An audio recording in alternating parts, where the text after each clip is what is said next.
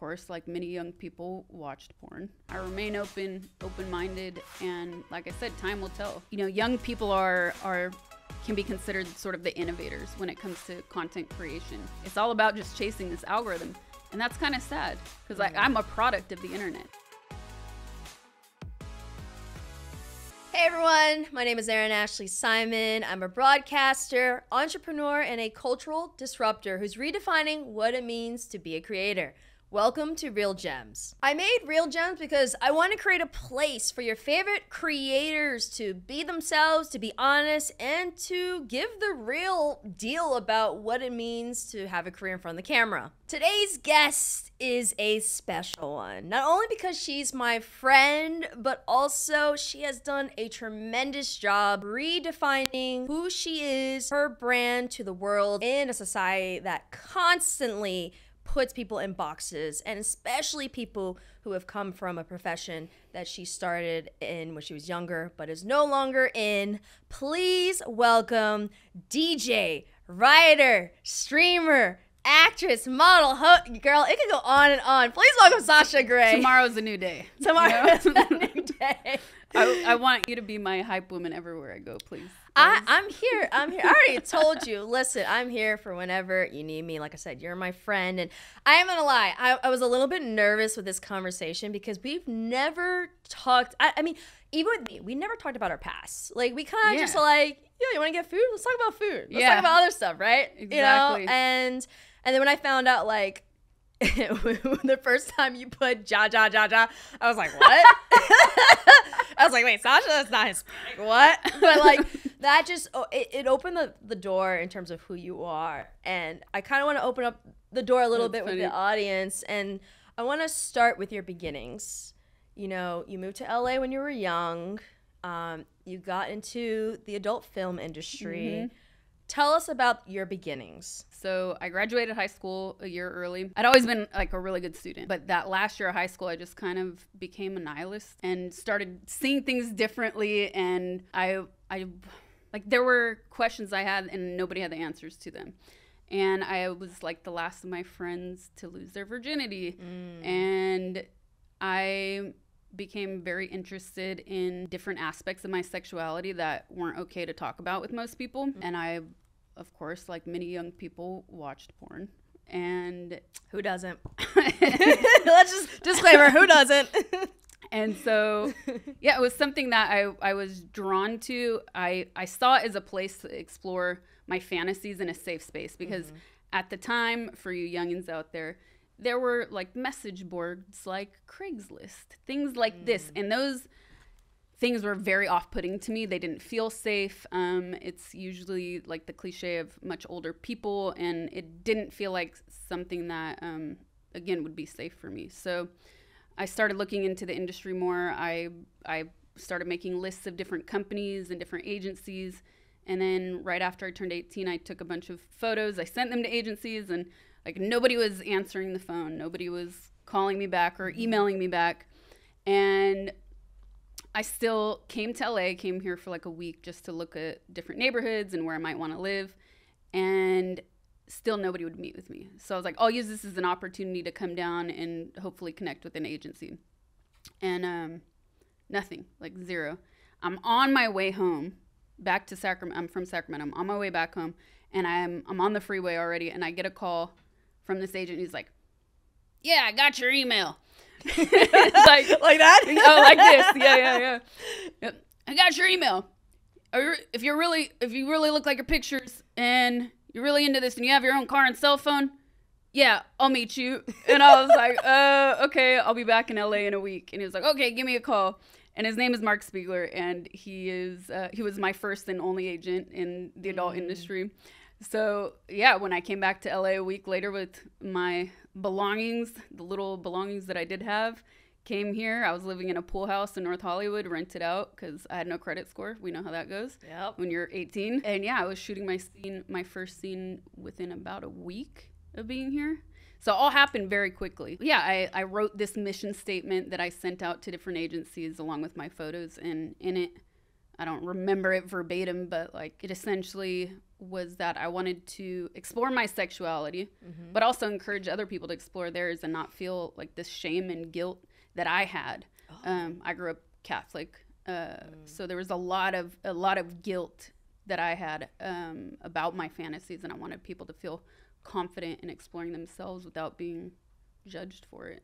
And yeah, that's that's how it all began. Wow, you know it's fascinating because like you you still have those those those values and those that. Mm that reason, that purpose, you still have it till today. I mean, like even when we have that conversation, like even when on Venn with the gray area, mm. and then like just even other things, you're you're always about people being comfortable mm-hmm. and sex positivity, and you know, you were one of the best. Like you were, oh, thank you. You were award winning, and so you started to get in movies. You started to get kind of like a entertainment mainstream cross mm-hmm. yes what do you say like cross promotion like you started to kind of like make your way into just the mainstream area mm-hmm. like how was that for you especially you, you were at a very young age too wow it was challenging you know now i feel like it's probably different i think mm. because of the internet and social media i think people are a lot more savvy um, they have a lot more tools at their disposal. Yeah. So like I was going into interviews and it was like I was bait to shark. You know what I mean? Mm. No matter how much I knew, I still didn't know if that uh, makes okay, sense. that makes sense. I, kn- I know I, f- I always felt like I had to have my defenses up, yeah. and people would spin things the way they wanted to spin them for their own benefit. Um, but to say that, you know, you don't have. I had a booking agent. It's mm. a booking agent. That's it. Think of it like a modeling agent. The modeling yeah. agent just books you jobs. That's it. Nobody's there coaching you nobody's there telling mm. you like mm. this is how you handle these situations so it was sort of up to me to navigate this space and figure it out on my own after like my first one or two small experiences i would start to like sort of rehearse things before i went into a situation just because i started getting burned so many times yeah it was it was definitely interesting i can't i can't even imagine you know it and that's why I'm very curious about this conversation. And also another reason why I know people are probably like not used to me being like extra careful because like at the end like you're my friend and I know this is a this is an important conversation, but it kind of goes back to what we talked about where it's like I wanted to frame this conversation in a, in a great way because you're you're so positive about things and um and I've learned so much from you and I and I love how just like open and honest you are, uh, especially when you're in like a space like we said where where people are probably judging you before they even oh, meet oh, yeah. you. And when you decided to retire from the industry and you, at 21 and you decided to make that transition, what did that journey look like and what were the lessons and the things that you took away from that experience? You say I'm positive. Look. you don't want to see me off camera. You know, it's really easy to stay negative. It really truly is. And that's I, it's I think for everybody, yeah. it's always a constant battle. Like, I just don't want to be that person that's outputting um, that sort of negative mindset, especially because you see it so much. Like, I can't tell you how many times I just have to close my phone, delete Instagram or Twitter for a week, mute people because it's just a constant feed of negativity. I don't need to put that out into the world. I don't think it's necessary. Um, anyways, how did I navigate that transition? Um, was that the question? Yeah. How did I navigate that transition? It wasn't overnight. It wasn't something that I just decided from one day to the next, like, okay, I'm done. It was a combination of several things that were happening at the same time. I had finished, um, I just finished the girlfriend experience. I was doing a lot of press for that, and it was it was like a year, almost a year of nonstop press. Um, I'd done another film called a small Canadian film called Smash Cut. I was working on a photography book, and I'd started and stopped a company in the span of like less than a year in the adult industry. And I felt like every side or both sides wanted me to pick a side. Mm. And I mm. wasn't willing to do that. I truly wasn't. And it was 2009, end of 2009. So I this company I had failed the economy had crashed the year before and we were all still recovering it wasn't even uh, we hadn't even come back yet and i saw all these other opportunities around me i was also making music and it it was just natural. Like I said, it wasn't one day to the next. I didn't even talk about it for two years because it just didn't seem necessary. I I wanted and was existing in both worlds despite what people wanted me to do and people wanted me to take a, stance one way or the other and I just didn't think it was necessary and I decided to figure it out on my own time on my own terms.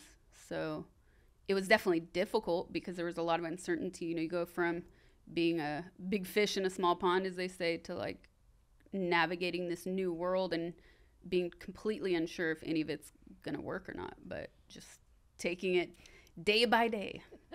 but how has that impacted as you've been building your business? I mean, you've been you're you're a big streamer. You're you're doing a lot of big projects. And, and I, and I and I feel like there's probably still brands and businesses and people you interact with that either still hold your pass over your head or can't look like like they can't interact with you mm-hmm. as like mm-hmm. you're a professional, you're a mm-hmm. businesswoman. They're thinking as a consumer. If right. that makes sense. Well, it's sort of twofold. I think I I know I learned a lot about my self worth in the industry. And I know there can be a lot of people that will twist that and, and say and think what they want. But I really learned how to negotiate for myself, how to stand up for myself. And as a young woman, that's difficult in any industry, but especially one where you're selling your body, right? Because mm-hmm. at the end of the day, that's what most people looked at it as. I look at it as art. Most people look at it as just the black and white, what it is. And I think those experiences of learning how to negotiate for myself and stand up for myself built the foundations for what was sort of necessary to in what was coming uh, in my future. There's not one right answer. I I've worked with different teams. I've worked with different publicists and management companies and agents, and all along the way, at the end of the day, like you you learn how to communicate with your team, right?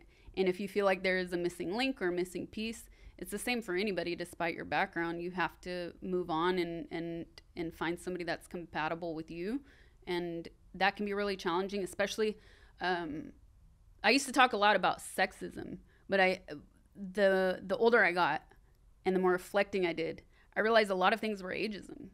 A lot of things were based on the fact that i was young and inexperienced and people were telling me what they thought was best and and sometimes i would put too much trust into people or like I had a great idea and people shot it down and today I would absolutely go after that idea even if it was going to be a failure. Yeah. Like or you know, nothing is certain, but like Yeah. I today I would have made different decisions than I did then for sure. Um yeah, I I think I think the industry gave me the tools and experience to deal with people and feel confident in decision making. Uh, in addition to that, I mean, what do you feel like was the most important lesson that like viewers who are, are tuning in can take away? Because like whenever we talk about hardships and obstacles and challenges, people vent a lot about that, mm-hmm. and you know, some people feel like these obstacles, these hurdles, are preventing them from being successful. But in actuality, I think that obstacles and hardships are just kind of like I view them as kind of like pause periods mm-hmm. to figure out what do I need to do to adapt to change. Exactly. It could even be the simplest thing as like maybe someone on your team is not up to par. Maybe exactly. you're you know you're posting on the wrong day. Like really a pause to just reflect mm-hmm. and see what can I do differently. So for you when you're going through these, you know, this new journey uh this new redefining, rebranding journey, you know, what's the most important lesson that you learned as you were overcoming these obstacles? I don't know if it was just one, but it's true. I, I think trusting my instinct is one of the most important things. Definitely. Uh, if if you don't trust your instinct and if you don't go after what you want, then you're letting other people make decisions for you. I remember I I was like 20 or 21 and I had an older friend who said to me, I had two friends. One said, "You have to know failure." And at that point, I don't I think I was about 20 cuz 21 is when the company went under. So like around that age they said, "You don't know failure." And I was and you know, in my mind I'm like, "What do you mean I don't know failure?" I know failure, but I didn't say that, but I, I of course thought it to myself.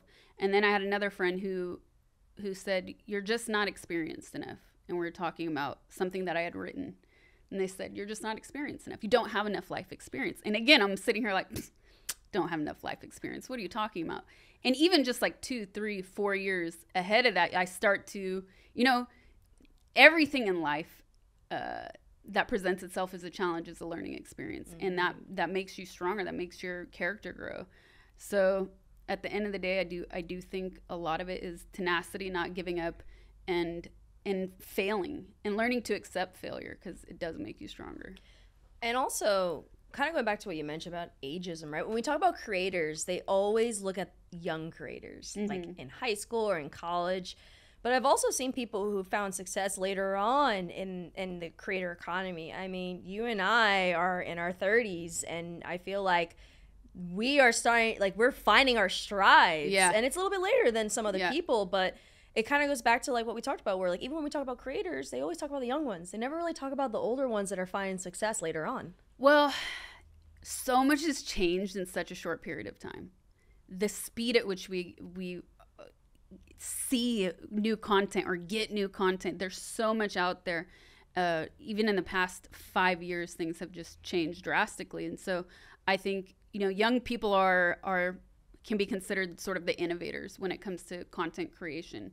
Um, they get they get people to follow them, and it's an exciting journey because you feel like you are part of their life. Um, this whole idea of like the parasocial relationship between creators and uh, their audience. All of these things are so new. Yeah. Um, but I was actually this is kind of like it goes off a little bit in Go the ahead. opposite direction. But I was thinking about this like watching TV series. If you think about it, even before social media, I think serial television sort of had the same effect. Is that yes, we love movies, but TV. Oh man, every week we get to see this character, and it's relaxing because it's familiar. So no matter how basic the storyline is, or how or how poorly written it is, or how poorly directed it is, you still show up because you like those characters. So I feel like content creation, social media now is sort of filling that void, and you also see it because of declining numbers in TV um, and so much competition in the space. But people's consumer habits have definitely changed. I think for us, like we've seen both sides of it. We've seen the before and we see what's happening now. Mm-hmm. So I think it's a different challenge because you're learning to grow with it and grow with it gracefully and not try to act like you're some 18 year old doing a TikTok dance. I, I couldn't. I, when I got TikTok, no. I was like, I can't. I can't do this. No. I'm gonna mm-hmm. leave dancing for the club. Yeah. That's that's off the gram, no. off the talk. That's why I DJ. no, I feel you on that. And you know, uh, one thing that I, I see with you especially is is you're very much about representation, social awareness. You know, you even like I gotta give you thanks for helping me raise funds for the HBCU Esports oh, yeah. League. No, I really appreciated that, and you're not afraid to do those things. And I and I also feel like sometimes, which is rightfully so, right? I feel like creators uh, and talent who are as big as you are, you know, of course, there's going to be that fear of backlash, fear of just the craziness that comes with like speaking up for things you fi- think are right and speaking mm-hmm. up for mm-hmm. things just like that are that you're passionate about. Mm-hmm. And and so for you, how do you navigate that? I don't feel I have a choice really. It's it's natural. It's uh, part of who I am. Um, I come from a marginalized industry where people are treated like the scum of the earth from certain people. Um, so I understand um, to a point, obviously, I understand what it's like to be on the other side. Um, I also grew up in a incredibly diverse neighborhood. Um, I had friends and family of different backgrounds. Um, so when I see injustice, it does not rests well with me. If I have an opportunity to use my platform and my voice to help other people out, it's a no-brainer. Like and you see a lot of performative action mm, on yeah. social media. And you know, I might not out be out here raising a million dollars for an incredibly large corporate charity, but I know the money that I do help raise goes a lot further.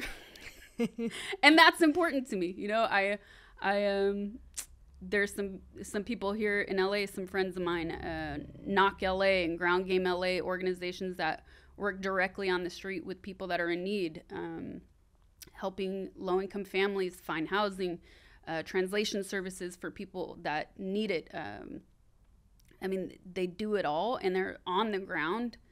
And again, if I could use my my platform and my reach to do something no matter how small then then I'll do it but I can't lie like we talk about information and how fast we get information sometimes it's overwhelming sometimes Yeah. it's super emotional um, and I think that's fine. You have to go through those emotions. Sometimes I have to again like shut it all down, delete the apps for a week or so. Um, but then you think about the people that don't have that luxury, you know, because their life doesn't exist on these apps. The real injustices are not happening online.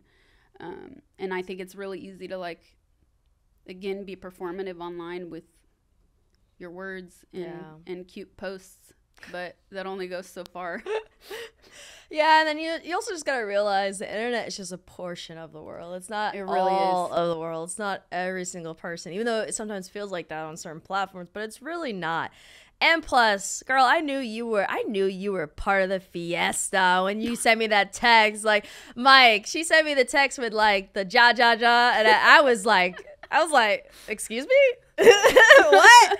That's how I knew you came from a di- that's why I was like, wait, who, who did Who you grow up around? who did you grow up around. Um, but no, I think that's great. I, and I also think like you talked about just some of the obstacles that you had to overcome, and one of them was like you know you talked about being taken advantage of and all these different things. And I'm very curious as your friend because I'm sure you put me through this process. I mean, who doesn't? I put people through this process. How do you differentiate and and and what kind of process do you go through to determine if someone's actually there for you versus like, oh, I'm just here to be close with Sasha because she's popping, she got a lot of followers. Like, how do you know when it's genuine and when it's not? time always tells. Like time is a revealer of truth. So time reveals all truths, I should say. I I think you I, I might come off reserved and I am just because I'm I'm a little bit shy when I first get to know people, but I'm also just a little bit quiet. I'm also the loudest person you can meet as well. So it really depends like which day you get me or what we're doing, what So we're whether we're to. doing dinner acts. Yeah, exactly.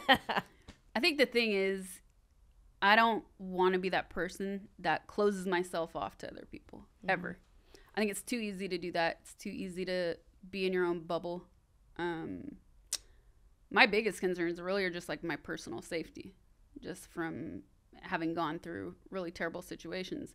That's my primary concern. So I have like ways to take care of that. But in terms of like the more superficial in getting to know people, um, I, I still I just try to stay open. I remain open, open minded, and like I said, time will tell.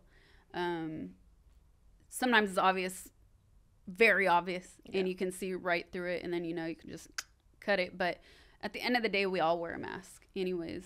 We all we all thrive better in certain situations than others, and you just have to like keep on keeping on. But I want I want to hear what what you do. I think we talked about this, but I don't remember. Ah, I think yeah, I think we talked about it over like, I think me, you, and, and our gang. Sorry, we're not. A, it's not an actual gang. It's just friends, folks. Okay.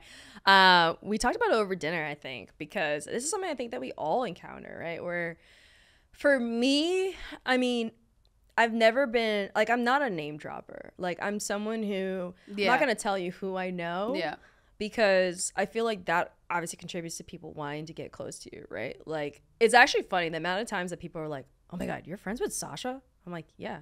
Like we both worked at Venn. Like, yeah, but I'm not gonna like I'm not the kind of person that's gonna go around and be like, "Oh, Yeah, eh," you know, like because my thing is my relationships with my friends are my relationships with my friends, and I wanted to be something special, and I wanted to be just what it is. But I I think one of the things is I don't do that.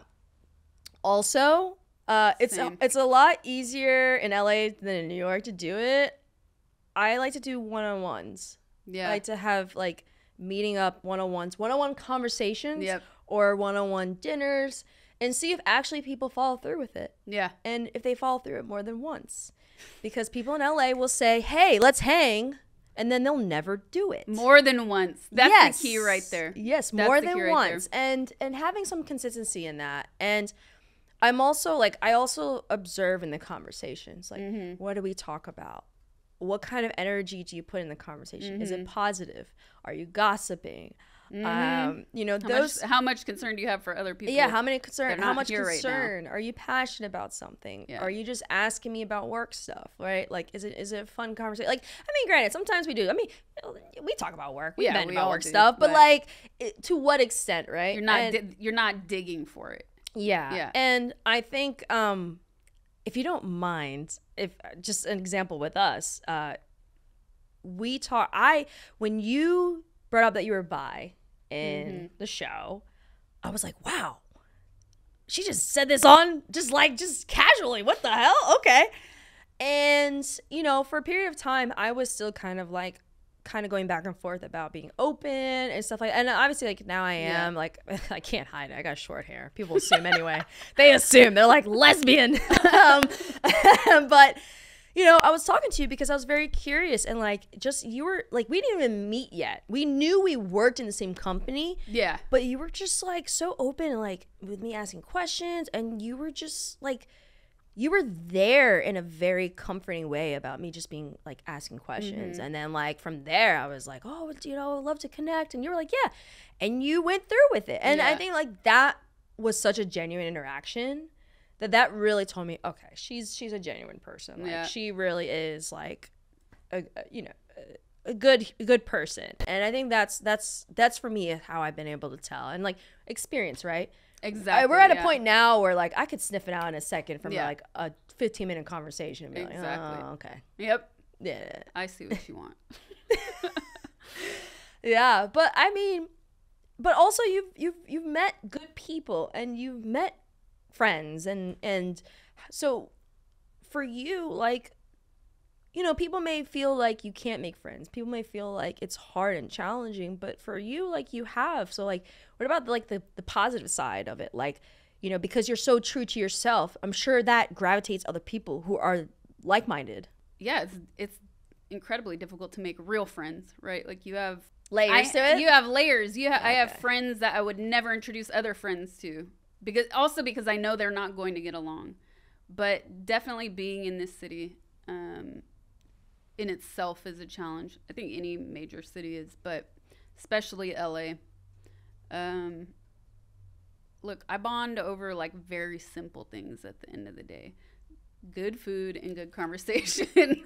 and if you can get down like that, then we're probably going to be friends. Like, I can't stand people that don't eat. It drives me insane. If I cook for you and you're like doing this, twirling your food and hardly taking a bite, I know we're not going to be great friends. I know, I know it right then and there.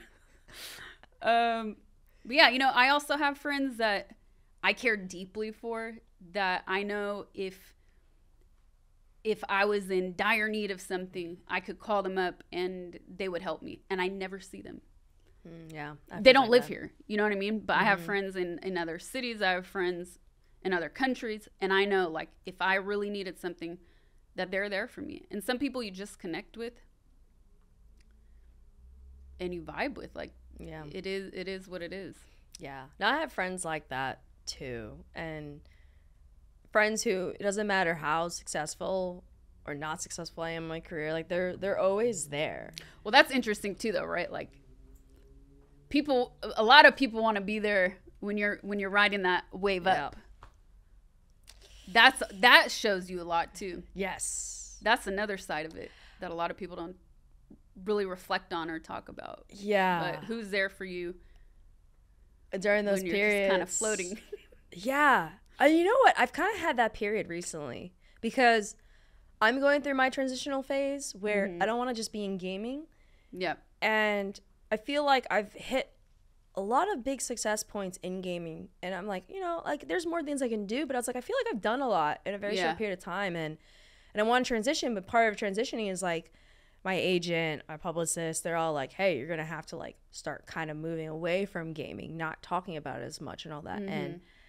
I noticed like since then, like, you know, people I'm sure people think like, oh, Erin's not doing anything. She fell off, right? Like the same some of the people your focus has shifted. Yeah, and some of the people who used to hit me up and talk to me, interact with me as much, they aren't doing anymore, right? And I and I understand some of it's life experience, but I can tell I can tell which ones are n- something else, mm-hmm. right? But I think during these moments, I, I don't know, maybe I'm weird. I actually like these moments because people who are, you truly know who's there for you during those periods. Mm-hmm. So when you do rebrand, you do change, and you do glow up, those are the people you want to rock with. It's the quiet moments. It is. the mm-hmm. quiet, calm moments. But mm-hmm. what blows my mind though, and and and I definitely want to hear from your experience. I feel like the the calm moments. People always associate those calm moments for like, oh, they're not maybe up to anything. When in actuality, like a lot of times, the calm moments is you're working on a project, you're building it up, You're gri- you're grinding. you're grinding, you're Yeah. doing the work, and then you're gonna have like a big oh presentation Yeah. thing for it. You know, like for you, have you ever had that? Period of quietness and like what was that period Yeah, like all the you? time. All You're the like, time. I'm I- home quiet all the time. I, I wear so many different hats and I think probably the the most intense period was like when I was writing my first novel Mm. because I just I had to shut myself off from the world. There was no choice. I was on a deadline, you know. I got paid. I had this had to be done. There was no choice whatsoever. Um the second and third were uh, not easier to write, but let's say like I had more time. Time is a luxury. So, yeah, I've definitely done that. And and when you're writing, it's a different beast. It's not um it's not the public facing part of what I do um, or what I'm known for, and that was actually really nice. I liked I liked stepping away, but when you live in and work in a town and in an industry that is so dependent on your presence is definitely a challenge for sure. Yeah. And that's actually like where social media used to help more. Now I feel like social media it's not even about you as a person or your passions or your interests anymore. It's all about just chasing this algorithm. And that's kind of sad because I'm a product of the internet. I, I built my career because of the internet, um, as did a lot of people I know. And I think that sort of special part of sharing those interests or your passions um, or your projects, right? Like, not every piece of music I've ever worked on is just blown up, but I'm okay with that and I like what I'm doing. Um, and it's like harder, it's almost harder and harder to reach your audience in a way. That's actually an, talk about like learning how to grow and change when we have no control over those things. That's incredibly challenging. It's pay to play now. Mhm. It's pay to play. Or just stuff your face in a chocolate cake like Matilda. Yeah. And like that That you know, too. that that worked for me. Yeah. and, when you're going on your journey, obviously it's not only a career shift, but it's a shift as you as a person. Did you have moments where you outgrew people around you, outgrew people in your immediate circle? And what was that experience like? Because I know, s you know, I know that sometimes people get really sad because people who are there from the beginning are no longer part of the journey, and that's sad. You know, there is a grieving period that comes with that. Like when you lose friends, you lose people that were with you. Um, but it's important that like you can't hold yourself back as you are expanding and growing as a person. Right. So, what was that like for you? Yeah, because I actually I pride myself on communication. And a lot of people don't know how to communicate. So when you see that a lot of a lo- let's say like in my early tw- in mid 20s, a lot of friendships that I had uh, that just kind of fizzled out were because of I don't want to go like too deep into it, but and call people out, but it's it's because of a lack of communication at the end of the day, um, which is sort of you, when you learn about it later, it's like okay, well, it's fine. They didn't really value me anyways. Um, but it can yeah, it can be lonely, especially when you're younger and you're still trying to find yourself.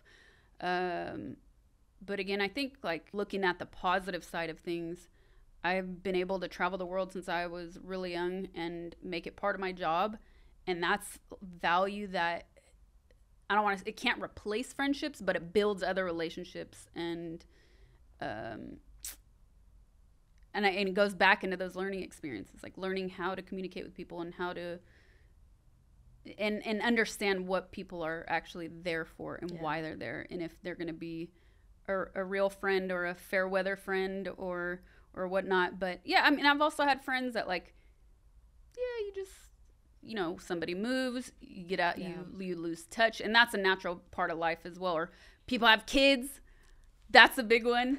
People have kids, and it's like, I'll, I still try though, you know, like I don't want to be that friend that let them go.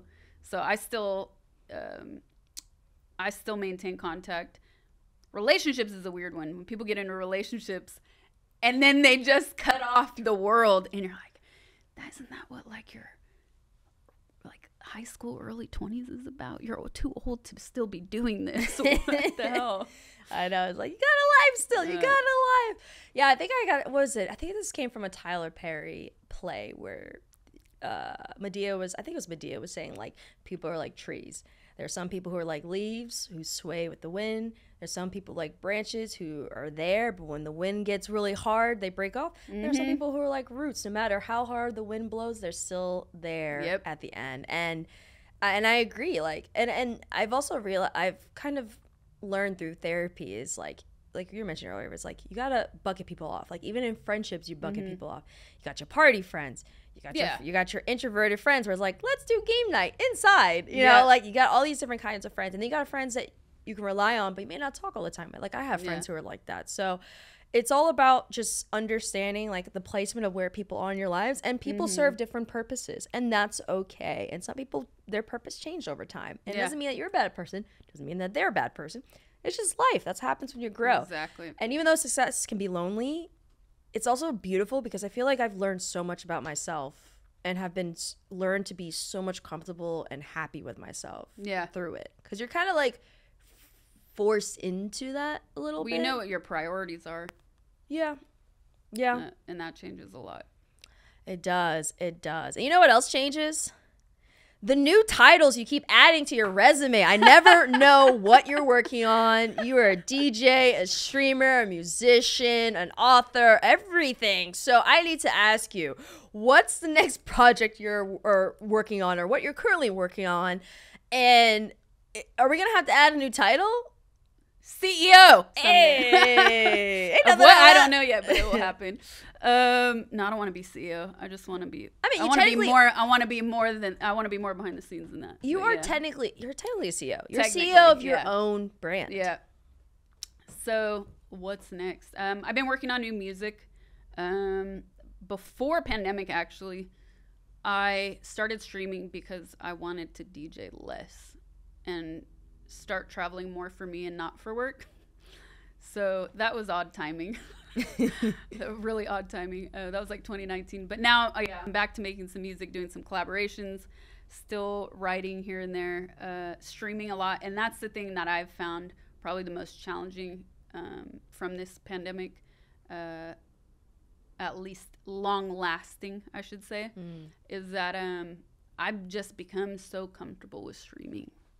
And being too comfortable is dangerous.